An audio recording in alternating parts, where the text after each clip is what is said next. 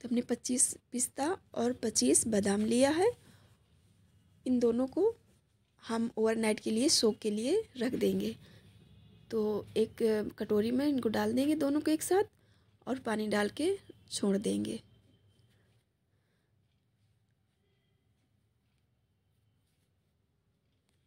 इसको हमने ढक्कन लगा दिया और रख दिया है। और देखिए, अब इसका हम छिलका निकाल देंगे।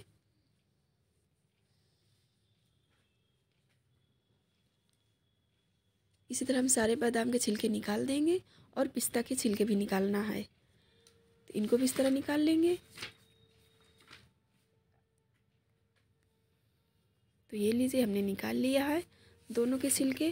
और ग्राइंडर जार लेंगे और उसी में हम डाल देंगे।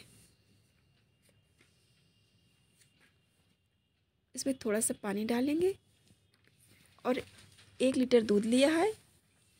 गर्म होने के लिए रख दिया। फिर हमने ये इलायची लिया है। इलायची के दाने निकाल लेंगे, छिलके हटाएँगे।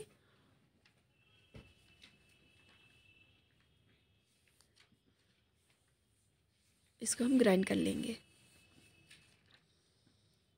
बिल्कुल स्मूथ हमें ग्राइंड करना है। टुकड़े ना रहें, दूध हमारा गर्म हो गया। देखो, उबाल आने लगी है तो इसे अच्छे से मिलाएँगे। और ये कस्टर्ड पाउडर लिया है।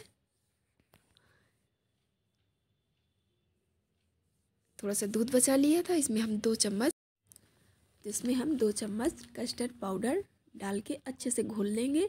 इसमें लम्स बिल्कुल ना रहें। ये लीजिए, ये घुल गया है। और इसको थोड़ा थोड़ा करके हम डालेंगे। इसको लगातार हम चलाते रहेंगे।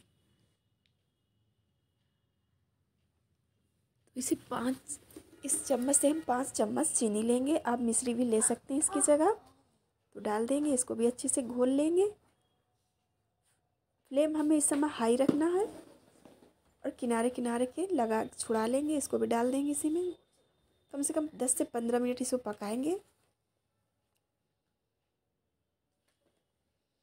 और ये दूध हमारा पक गया है तो ये हमने जो पीस के रखा था, बादाम पिस्ता तो इसको भी इसी समय डालेंगे। इसको डाल देंगे, इसको धुल कर भी डाल देंगे। और अच्छे से दो मिनट पकाएँगे। अब ज़्यादा नहीं हमें पकाना, बस ये तैयार हो गया है।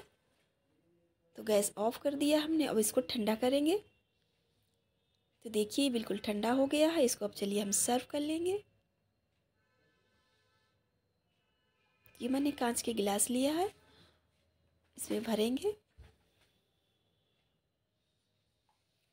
तो अगर बच्चों के एग्ज़ाम चल रहे हैं तो प्लीज़ अपने बच्चों को ये हेल्दी दूध ज़रूर दीजिए।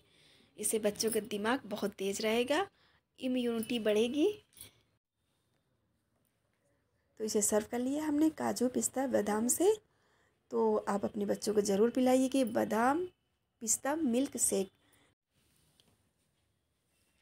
तो ये लीजिए, हमारा बन के तैयार है। तो मेरे चैनल को सब्सक्राइब करें, वीडियो को लाइक करें शेयर करें।